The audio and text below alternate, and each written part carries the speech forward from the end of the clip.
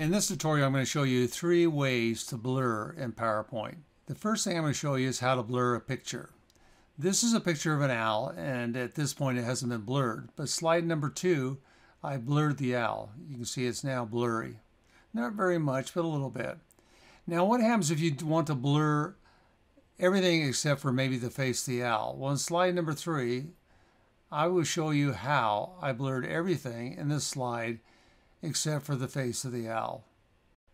Okay, we're going to start off with a slide of the owl. And so we have a sharp image of the owl. First thing we're going to do is we're going to duplicate that slide. So I'm going to go up here and hit duplicate slide. It's going to bring up a, a second slide. And then this slide is the slide we're going to work with. And the first thing we're going to do is we're going to, to blur this slide. So this is how we're going to blur a photograph, any photograph that you might have in there or any image you might have on a layer. So the first thing we do is select the picture, go up to picture format, go over to artistic effects, click on blurred, which is right over here, the second row for this one over. And we come down and now we have a blurred image of our owl.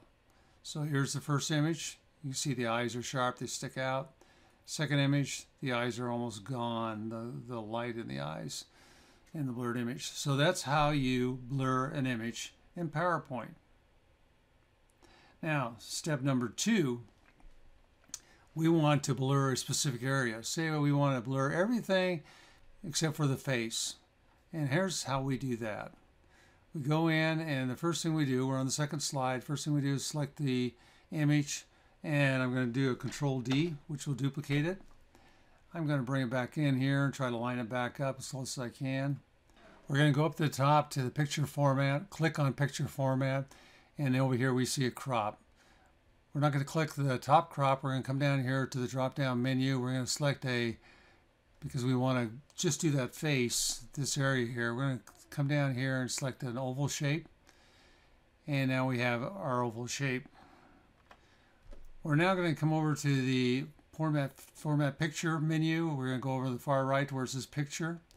We're going to come all the way down and you see right here we have crop. First thing we're going to do is we're going to resize that, that circle.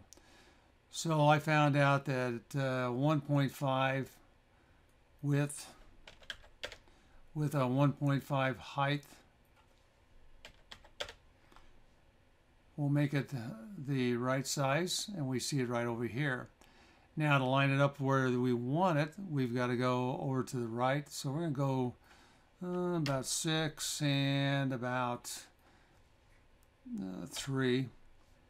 And now we're getting pretty close to being lined up. So we go down here and we're just going to line things up a little bit. And the first next thing we're going to do is we're going to hit the crop sign up at the top. And now we're in a position where we can crop. I think there's a few little changes we need to do and then we're going to increase the size of this circle so that it fits a little better. And now we're going to do a crop again. And now that is cropped out. Now, if I move this, you'll see we have our head and it's lined up. Okay, so we line up our head. However, our, our, this was cropped from a blurred image. So what do we do? We come over here to the effects and we, with this face selected, we do reset and now it's no longer blurred. And that's how you can take out a particular area and unblur it or do the reverse. If this was not blurred and I wanted to blur this, you can do the same process. Welcome to part two of this tutorial. In this part, we're going to talk about how to apply a blur to a background. So we have an empty slide, and now we need to insert a picture. Now we could go up to insert and insert a picture the normal way, but that's not how you do put it into the background. To put it in the background, what we have to do is we have to go into design, go over all the way to the right to format background, click on that, and format background appears. We go down to picture and or texture fill, click on that, then go down to picture source, go to insert from file, insert our picture, and here's our picture of our office building. we're now going to blur that building. How do we do that? We go over to the effects section of the format background, click on that, and we have artistic effects. We see that we have a drop down menu over here on the right portion of that. We click on that and we come down right here to blur. Click on blur and now our building blurs. Now we also have the radius where we can increase the amount of blur. So I'm going to go in here.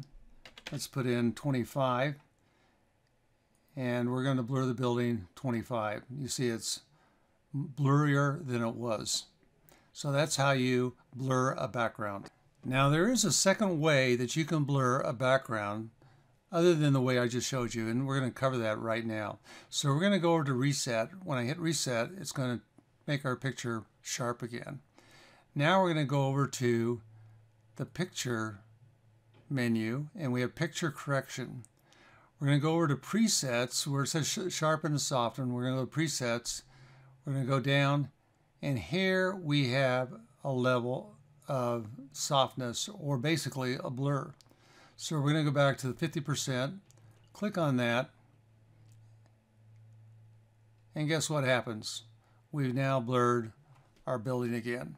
You can also use this process on just doing the photos on layers as well.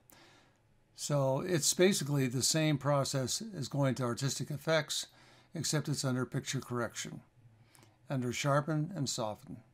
Hope you enjoyed this tutorial.